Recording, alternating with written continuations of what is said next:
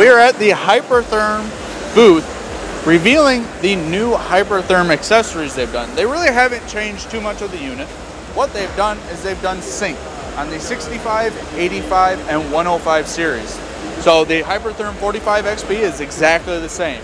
What they've done is they've changed the torch, the leads, and the units itself. So they're making it all smart. I got a video before, and we're gonna go through that. It's a longer video, but they're gonna talk step by step of what's really going on. So what everyone's going to notice and talk about when they see the PowerMax system is the first thing they're going to see is this cartridge, right? So the cartridge is a single piece unit. It combines the swirl ring, the retaining cap, the shield, the nozzle and the electrode all together. It's all in one piece here. So you eliminate the having to know which swirl ring you got to go between flying cut and standard. You change, oh hey, what electrode am I running for 65, 40 per 45, 65, 10, you know, 85, yeah. 105 you change. Um, actually, no, 105 goes all the way up there. It's 105 through. Think about it this way: when you uh, uh, uh, for our systems from the 65 to the 105, typically the swirl ring and the electrode you use they're the same all the way up through. Okay. Yeah. But you always, but the nozzles are different. And you got a different orifice, different exactly, curve. Exactly. And you can't really visually when you look at these nozzles side by side it's really hard to tell the difference. You got to, you know, look at the laser mark and get up close to it. Um, so what we do is with the cartridge, you don't have to worry about any of that. We got one piece, it replaces all of the consumables at once. So you put a fresh set on with every change, okay? Yep. When, now the cartridge, the torch, and the power supply, they all work together. As soon as I put this on, it's like a nice easy quarter turn, goes right on the machine. The power supply now sets to the amperage, it sets the gas pressure, and it sets the mode. So this is a drag machine, a drag tip. So for a new operator, I put that on, I'm ready to go. I can put that on and on. But if I have a 105 amp machine and I put the 45 amp cartridge on, it sets the machine to 45 amps. So when I pull the trigger, I'm going to know when I'm cutting, wait a minute, why don't I have this power? Well, I can just quickly look at it before I put on the wrong cartridge, but you're not going to damage the cartridge, you're not going to damage the machine or the workpiece. Right? Big safety feature. Exactly. Now you pointed out on the inside of this, we have this little yeah. PCB board, right? Yep. That's an RFID tag. So what this is also doing is it's recording my cutting data. So as I cut, every time I fire the trigger, that's a start. When I fire the trigger and start to cut, that's a transfer. So we're going to count starts, we're going to count transfers, and as I'm cutting, it's going to it's going to time how many minutes we're cutting. So when I'm done with that, when I'm done cutting or when I put on a new cartridge or a used cartridge, I can go through the machine display and I can see that data from my cartridge. Yep. So if I got a drawer full of cartridges, I can just grab one out, put it on. Oh, okay. I, I usually average about 500 starts. This one's got 250. I know I got about half my life left. So, and you said this is for 65, 85, and 105. Yeah. The 45 never changed. Correct. Correct. Why is that? Uh, the 45 XP is a great machine. It's only been out for a few years. We wanted to start with a, a little bit, the machine's a little bit longer in the tooth in our line, so we updated the newer one. So the other question is, what if somebody's, are you guys still selling the XP version? 65, 85, no, 105? No. So those are being discontinued Correct. and going to sync.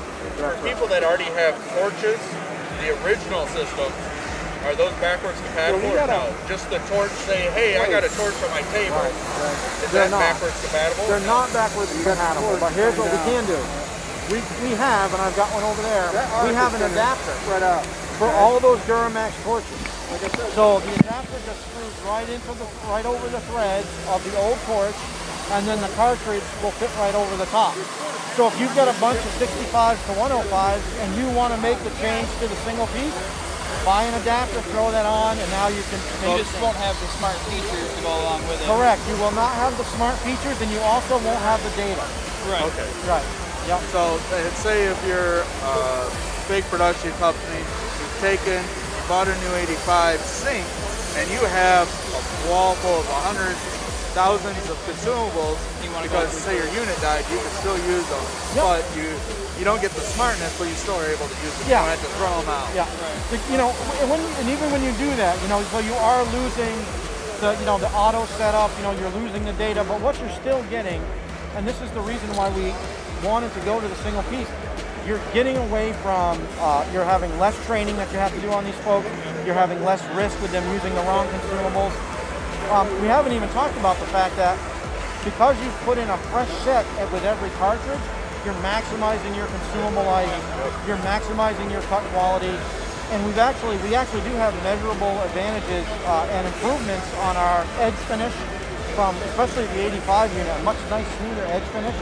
How many consumables went through, and how efficiently you went through them. Yeah, now all three of the new machines have that end of life detection feature that we've had uh, on our previous machine.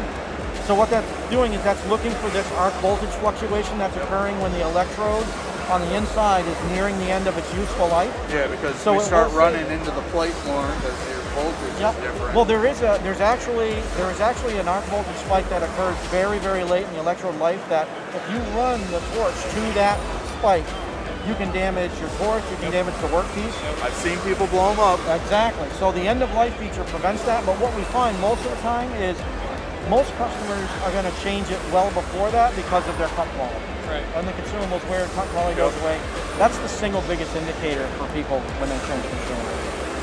So the other thing I'm wondering too is now we got a. We, I see a different torch style.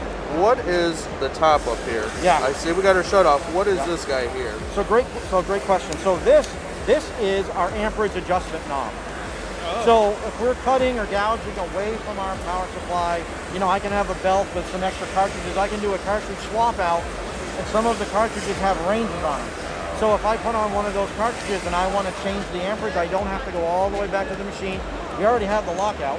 Yep. So if we're away from the machine, we just lock the machine out, make our change, put it back on, pull the trigger, we're now ready to go, and we can adjust the amperage right at the torch. Like say you got people running into problems like, hey, I'm pulling the trigger and it just keeps giving me a, a uh, normally it's a 030 code for 45 Yep, or torch, 65. torch stuck open, yeah, Yep. full 30, yep. Those are significantly reduced with this design for one. But for two, and again, another advantage of the data, one of the data pieces that we're tracking is error codes.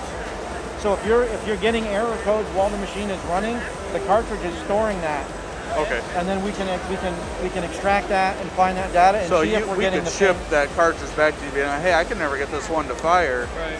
Right. Yes, exactly. So one of the other things is we have an app. I'll show you guys the app here. We have an app for tracking our cartridge data. So I just take a little cartridge reader, which I have in my pocket, conveniently enough. Oh wow. We put the cartridge. So- the cartridge fits right over the top. Is that something personally you can order, or is that just you guys? These will be available. Yep. Oh, okay. Yep. These will be available to buy. List price is going to be about 40 bucks. That's not Oh, too bad Not though. bad at all. Throw the cartridge in it. It works with the NFC antenna in your smartphone. It Ah. scans it, and then it creates a record. So each of these is a cartridge record. I just scanned this one this morning. It's a cartridge we're using over here. So at that point, we had started it eight times. We had seven transfers. That's my transfer percent rate. Obviously, during operation, we want that rate to be really high. Yeah. Because if you're piloting in the air, you're just you're burning out and wasting consumable life, right? Yes. Okay. There's my pilot time, and then there's my transfer, which is basically my cutting time, and then the total time. And then, That as I was saying, That is awesome. yep. And then we've got there's your, you know, again, Fault it's a new cartridge, but there's our cartridge fault record. Okay. So if I get 030 errors, if I get any other kind of air pressure errors, they're going to show up in here, and for that cartridge, I can start to find trends. And so, right? like, if we needed customer support because for some reason we're just having an issue, would we send you the cartridge itself, or would we just send you this data? Either or. Oh, either okay. or. You know, but the cartridge is now, it's not just a consumable, it is a part. If the cartridges are not lasting to specifications, Yep. we do consider warranting those as well. Okay. Because we want to make sure people are having a good experience. And then even from here, I can export. I, I, I'll have some graphs in here once I get enough cartridges to actually have the data. And then I can actually export this, email it to myself. We have a data analysis uh, spreadsheet. You can dump all your data in. You can find trends in your operators. I can add labels to the cartridges in, in my app. Sick. So if you guys are my two operators, you're on first, you're on second. Right, day I shift, night shift. You know, Yep. yeah. These are this is your bucket. This is your bucket. So that data I showed you, if that if that success transfer success rate, if yours is significantly lower than yours, I know that I probably need to train you. you're wor- you're ruining my cartridges. Yeah. All right. Yeah. That is that is incredible. I love it. Yeah, That is that awesome. is, you know, Awesome. going from say a standard set of consumables to this. I know your swirl rings are what 15 16 dollars average. I think the Shield is 30 to four. I, oh, I'm trying to that much. remember Yeah. pricing in my head, and it's hard because I don't order it every week. I order both amounts. Your electrode and nozzle are normally right around 12 bucks a piece. What cost is are most consumables going to be at, like ranging? Well- now, since it's an all-in-one unit. Well, maybe the best way to tell you, so the list price on this is going to be 55, 56 bucks, and it varies depending on the cartridge and the application. 100%. But for the standard standard cutting, right, that's where we're going to be. Yeah. The full stack up. Now, some people will say, well, you know, you've been teaching me for years to only train my nozzle electrode. Well, there's other advantages to switching out the other parts, first of all. But um, and so that investment is going to be more than, the- than the cartridge, than the electrode and nozzle cost. But a full stack up of parts right now with list price is well over hundred dollars. So if you if you replaced all of these at one time, it would be over hundred dollars.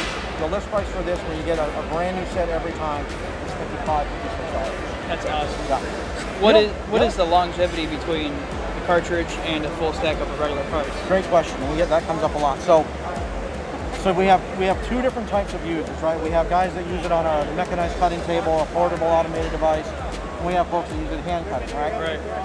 When we test a hypertherm, we're testing in a lab environment. It's very controlled and it's also automated, right? We don't pay people to stand around and make thousands of cuts by hand. That'd be crazy, right? In the automated environment, we're going to see from the 65 up to the 105, a lot of variables at play. But what we're seeing is about a 30 to 50% life increase. Some, somewhere in that. Okay. Now, when you're hand cutting through our field trial sites that have, that have been testing these out, some customers are getting up to double the life with the cartridge versus their five piece set. Wow. And this is they, they, they have sent us documented data of them recording both. And we actually are marketing that up to two times life with the cartridge for hand cutting. Because those apparent, apparently Well, the cartridge is less- less susceptible to all those, you know, somebody cutting too fast, somebody cutting too slow, variations in speed, variations in standoff height. So the cartridge withstands that better. And and you know, honestly, some of that may be perception for customers because they're not wasting all this time looking for parts, blowing out nozzles because they put it on at the wrong amperage and things like that. Or, you know, they didn't even screw the cap on tight. Correct. Yeah. Yep. Yep. Or they screwed it on too hard. Or parts Yep. are in the wrong order, so it'll still go together, but it just It can. It's harder now than it used to be. but Yeah. You can still do it because we have people that try. Yeah. See, so yes. And that's really the main point is we're trying to simplify this whole process.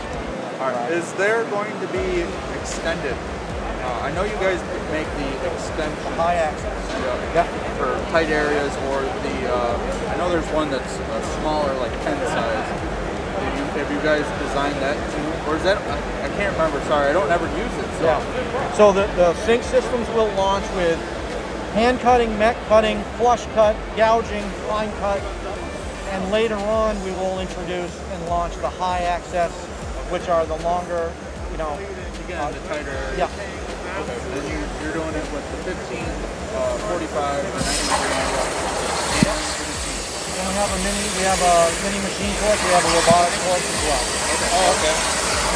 What is so? How do the cartridge hand up with uh, people use like a water table compared to? Because there is you know electronic, you know, a little bit more electronic in there. Um, no, again, extensively field tested this product, um, worked out a lot of bugs throughout that process. We feel very comfortable that it's going to operate very well. So mechanized you don't see a problem with uh, people's water tables or telegraph tables being a problem. Dust, debris, heavy field work. No more than what the current Power Max line deals with. Okay. Well, why don't we uh, go ahead and get? I want to try it. Yeah? Yeah, let's get you guys over there.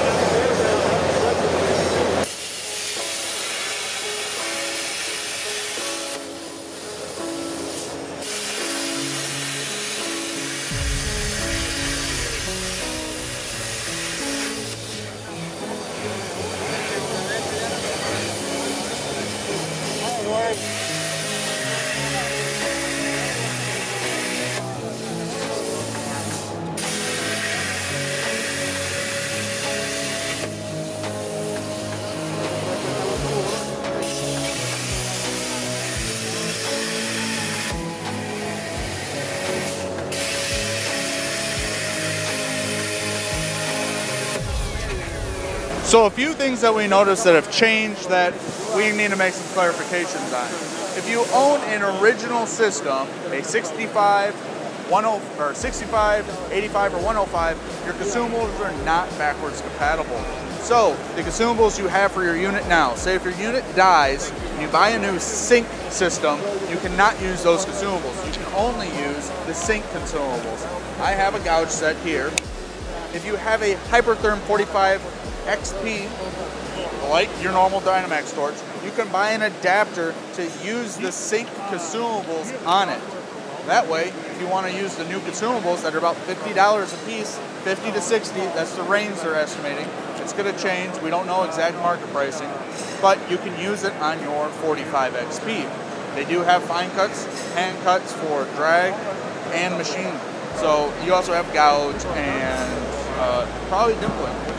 The extended reaches aren't out yet. They're still working on that, but there's more to come. But if you want to look at one of the units, they'll be coming out probably close to the end of the year. There's no exact pricing. They do say it's going to go up a little, and they have yet to tell when the final release is.